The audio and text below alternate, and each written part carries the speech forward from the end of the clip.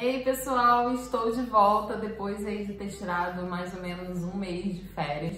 Estava precisando, porque precisava colocar muita coisa em ordem. Mas como vocês viram aí nos últimos vídeos, nós nos mudamos. Já tem agora três meses que a gente está aqui em Toronto, no Canadá. Então a gente está nesse processo ainda de adaptação, né? Apesar de ser três meses. É, as minhas aulas voltaram agora em janeiro, meio de janeiro, né? Então, é, até eu me adaptar também à rotina dos estudos, ao emprego, ao frio, que aqui tá bem frio, para quem estava acostumado aí com os 40 graus do Rio de Janeiro, também é uma adaptação um pouco diferente. Enfim, precisava desse tempo aí para estar tá organizando a minha vida, tanto na vida de estudo, vida pessoal, vida profissional, enfim. E eu tenho muita coisa legal para compartilhar com vocês a partir de agora. Estamos de volta e feliz 2022 para vocês, porque a última vez que eu fiz um vídeo aqui ainda não era ano novo. E então feliz ano novo para vocês e vamos com tudo que agora nós vamos ter coisas é, bem legais aqui no canal, além daquilo que, você, daquilo que vocês já estão acostumados a ver, que é coisas de cuidado com a pele, rotina no dia a dia, como é que eu consigo conciliar os meus estudos, a minha vida pessoal, enfim, tudo. E nada melhor do que começar o ano de 2022 com metas, estabelecendo metas para o ano. Então eu vou compartilhar para vocês um pouquinho aqui do que, que eu planejei para o ano de 2022, como eu estou me organizando para dar conta de tudo isso daí que está acontecendo na, na minha vida, que eu vou compartilhar com vocês em breve aqui no canal, não se preocupem. Também vou compartilhar para vocês como que tá a situação da minha pele. Eu tenho aí, já tem mais de um mês que eu estou sem fazer skincare.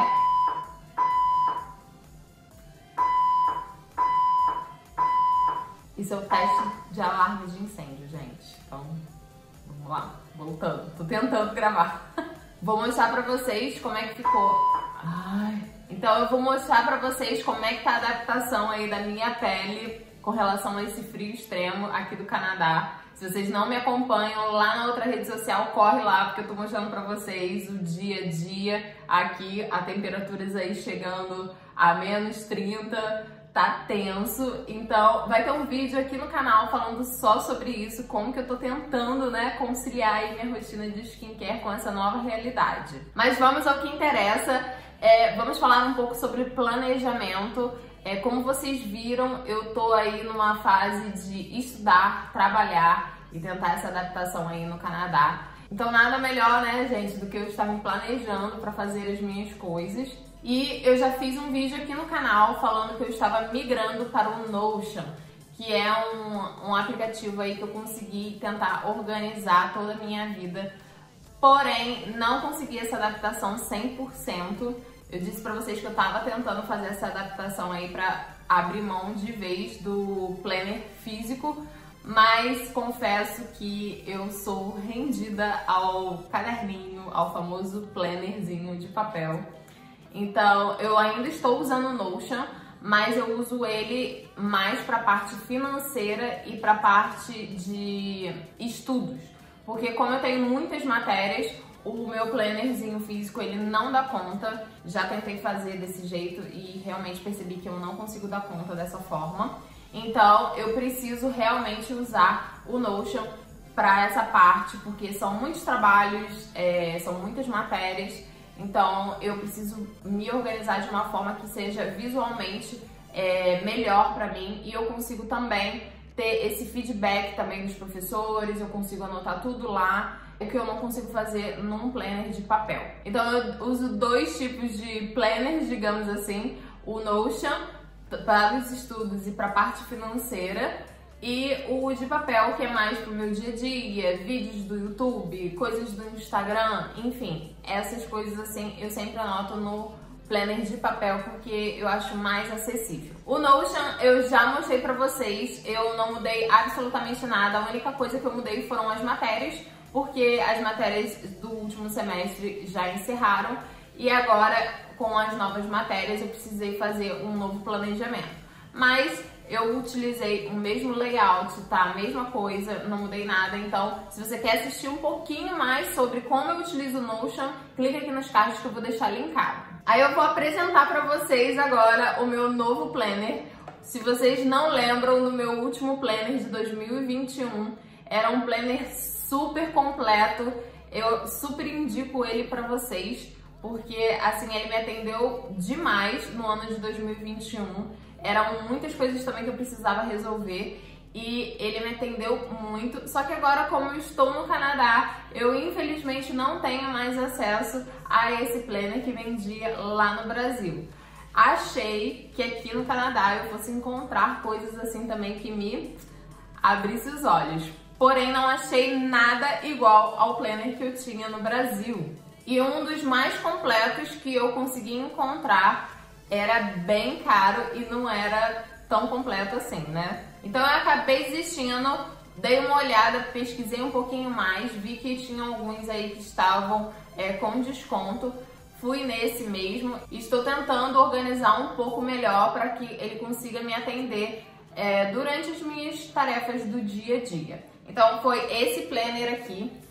Ele inclusive está escrito é, menos segundas, mais café.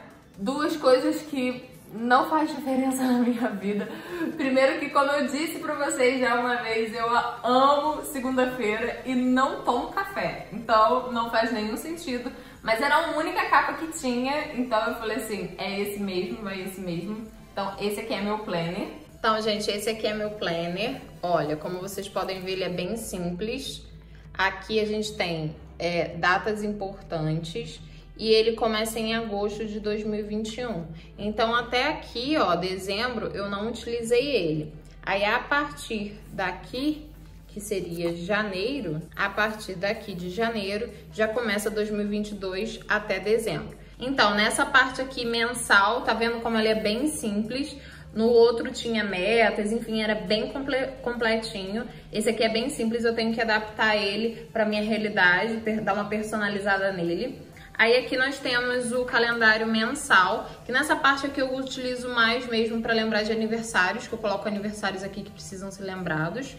E aqui tem algumas metas, é, mas são só três pontos. Algumas datas importantes e umas anotações, caso é, eu precise utilizar. E aí aqui já começa o calendário semanal.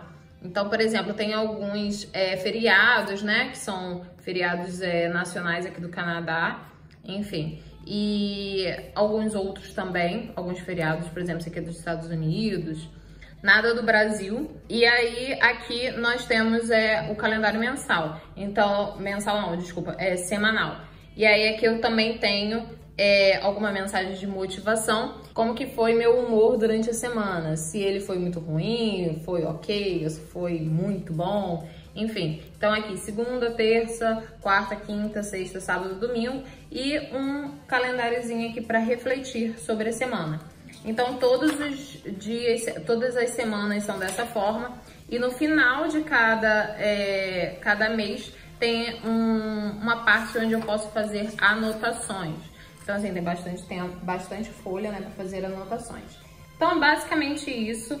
Ele é bem simples comparado àquele outro lá que eu tinha no Brasil. Acho que eu tô conseguindo dar conta com tanto com o Notion quanto com o Planner físico. Então tá me atendendo super. Para 2022 eu vou compartilhar aí algumas das minhas metas com vocês. Eu tenho, eu separo geralmente em metas pessoais, financeiras e profissionais. Então, metas pessoais para compartilhar aí com vocês é tentar ir pelo menos três vezes na semana é, fazer exercício físico. Essas últimas semanas aí eu acabei que eu não fiz, agora em janeiro. Confesso que janeiro para mim foi uma negação. Primeiro porque aqui a gente tá em lockdown, então tava tudo fechado, a academia do prédio estava fechada.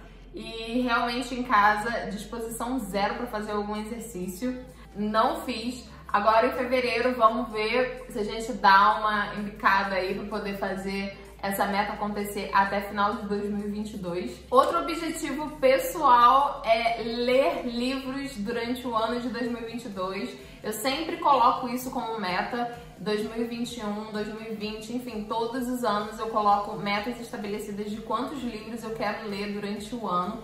E eu, para mim, é mais fácil ser bem específica. Por exemplo, eu não quero só ler livros durante 2022. Eu quero ler 10 livros em 2022. Eu quero ler 15 livros em 2022. Então eu estabeleci uma meta bem específica de ler 15 livros em 2022. Eu gosto muito de ler, então tem alguns livros em português ainda que eu preciso finalizar, que era do meu curso, que eu já terminei o meu curso de carisma. Então eu fiquei muito feliz. Eu e o Roger, nós já nos formamos, mas tem alguns livros ainda que eu não terminei de ler e eu quero muito ler esses livros. E a partir do momento que eu terminá-los, eu vou iniciar também os livros em inglês, porque eu preciso focar nessa parte do inglês, é, desenvolver mesmo, né, o vocabulário, enfim. Então tem algumas metas aí para poder estar tá lendo alguns livros em inglês. Vamos começar pelos fáceis, né? E depois vamos aí avançando um pouco mais. Outra meta que eu tenho para 2022 e esse daí é uma, um lado um pouco mais da área profissional, é focar um pouco mais nos vídeos em 2022. Então, trazer mais conteúdos aqui para o YouTube, trazer conteúdos diversificados para vocês tanto de beleza, beleza aqui no exterior, beleza do Brasil, porque eu tenho ainda muito produto do Brasil que eu trouxe, gente. E graças a Deus eu trouxe, porque depois eu vou contar também para vocês sobre isso em outro vídeo. Quero também trazer para vocês a vida no Canadá, o que está acontecendo, o que está rolando aqui, os meus estudos, quero compartilhar tudo isso com vocês. Uma das metas para 2022 é tá focando aí nos vídeos no canal do YouTube. Eu tenho mais algumas metas mas eu vou compartilhar só isso daí com vocês, porque ao longo do ano de 2022 eu vou soltando aí pra vocês o que, que tem para acontecer e o que for se cumprindo, com certeza eu vou compartilhar com vocês.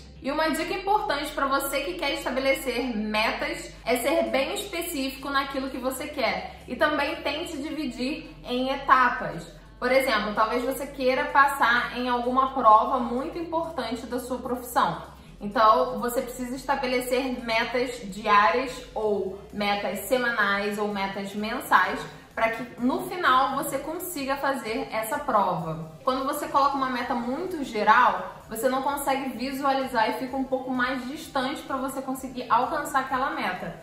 Então faça isso porque com certeza você vai se sentir muito mais motivado ao tentar chegar nessa meta. Também não esqueça de criar hábitos de estar sempre checando na sua agenda o que, que você precisa fazer e também marcando aquilo que você conseguiu concluir durante o dia, porque isso dá muita motivação para você continuar. Uma outra dica muito importante é você estabelecer metas em que você pode se dedicar e conseguir concluí-la. Ou seja, metas que dependem de você. Quando a gente tem metas que não dependem de nós, como por exemplo, eu preciso finalizar um trabalho que depende de uma terceira pessoa. Então, se tiver algo que você queira muito, mas que não depende de você, isso são metas um pouco mais difíceis de ser alcançadas. São impossíveis? Não são, mas elas são um pouco mais difíceis. Então aí você precisa tomar um certo cuidado porque talvez se você não conseguir é, concluir essa tarefa, você pode ficar um pouco desmotivado.